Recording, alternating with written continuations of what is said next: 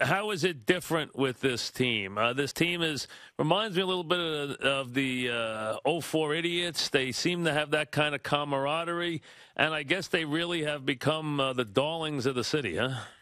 Yeah, I think uh, you know the town was a little reluctant to embrace them, and and uh, after a bad year and a half, uh, a lot of you know worst team in 47 years, and you know just a lot of mismanagement and, and bad feeling left over. But uh, this is really a worthy team in terms of you know the walk off wins and the the team spirit, not having individual stars as much, and you know kind of the stuff that uh, that you do root for. And and the management had a great off season, and almost everything that they did has worked.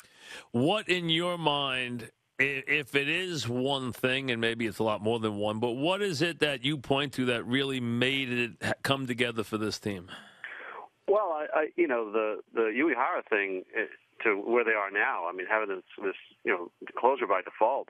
You know, after they tried to give the job to Hanrahan and Bailey and and then in the middle of the season they turned it over to this 38 year old guy who failed badly in the playoffs two years ago and I don't know where this comes from. It's not like he's anybody thinks he's juicing or anything. I mean, the guy's the guy, and uh, but he's been really untouchable. That makes a big difference. And they had really good starting pitching out of the gate. They had very few games where the game was over in the fourth or fifth inning, and uh, and obviously everybody's sick of hearing about them grinding out at bats, and it makes the games interminable. But they, you know, last year they couldn't make outs fast enough, and this year they've gotten back to the approach of uh, trying to get your starter out of the game in the middle of the game and then go to your bullpen. And so many guys, top to bottom, have contributed on this. I mean, you've from Napoli to Victorino to Saltalamacchia. What guy's story this year do you like? That's really been the guy that you've been, you know, impressed by, or which guy? What story do you like out of all these guys? And on a team of stories, which one do you like?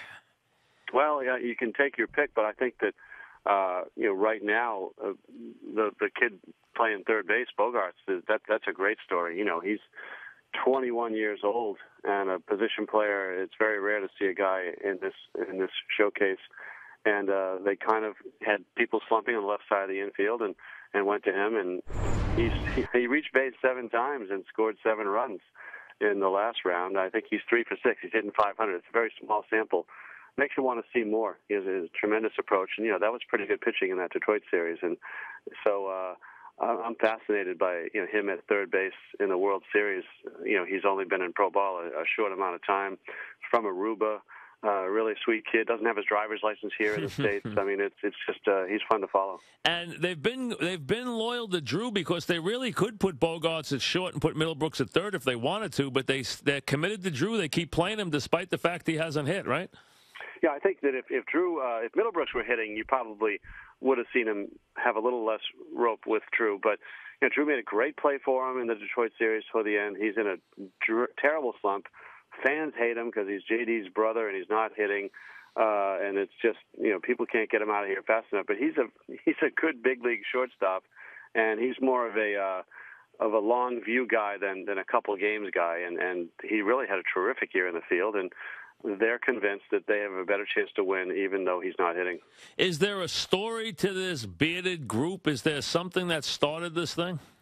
Well, we're all pretty tired of it. We're all pretty bearded out, but I mean, you know, every time they, they reach another level, it, it's it's new again. And uh, you know, Gomes and, and Napoli in, in spring training, I think Gomes really got it going, and and then once they uh, started tearing it up in August and really, you know, leap in the field in the American League East more guys were kind of pressured into joining in. It's it's almost universal now. It's funny because Uehara it does not. He's clean shaven. He used to have a beard, and uh, when he was not as good in Texas, and but there's very few, you know very few abstentions right now.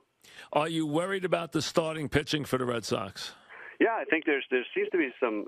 Again, I'm just getting to the ballpark now, but some new information about Buchholz. You know, the notion that he's not pitching in the in the second game, and uh, he hasn't been the same since the last night in New York, which in June, and then he went on the show for three months. You know, neck, shoulder stuff.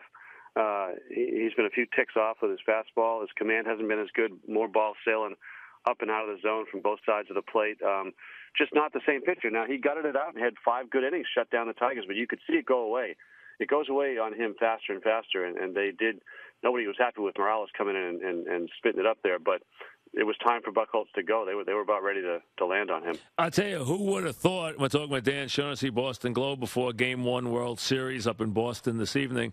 Who would have thought we'd see Lackey after the stuff we heard in the last year? Who would have thought we would have seen Lackey pitching in the postseason for the Red Sox?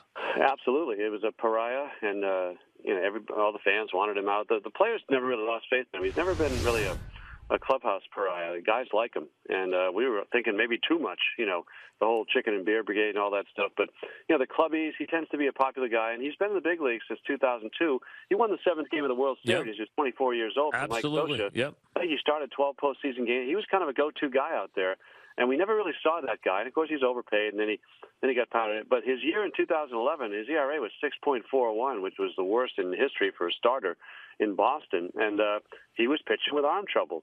And uh, so he, he gets the, the Tommy John surgery, and and here he is. Uh, it's it's interesting, and, and he's your game two guy. So um, yeah, it's quite a he he is the redemption story on team redemption. It really is. We're talking with Dan Shaughnessy. How about Ellsbury? Is Ellsbury is it a, is it a foregone conclusion that he is finishing up his Boston career, or or is there a chance he could be back next year?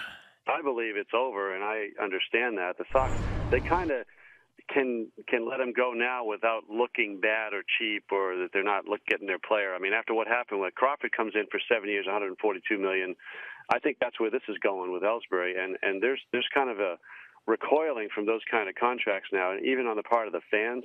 And you know, you've seen it. You know, the whole. Yep. I, I know he's not Pujols or Josh Hamilton or A Rod kind of money, but it's still it's going to be north of 100 million.